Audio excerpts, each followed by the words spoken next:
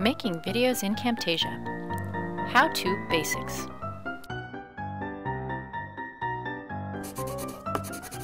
Draft your objectives and make a script. Record in a quiet room and use a microphone for good sound quality. Get your content together. You can use slides, your content from the internet, including YouTube videos. You can use videos or pictures that you have created and saved on your computer. You can use music and more. The basic concept is that you fuse your audio message with your visual content. Then you arrange your clips, audio and visual, on what is called a timeline. Then you add whatever content you need to to help you improve your project and, most importantly, communicate your message. Adding content to the timeline is as easy as gathering it in your clip bin, then dragging it to your timeline. Camtasia has a huge array of features that can add appeal to your final product.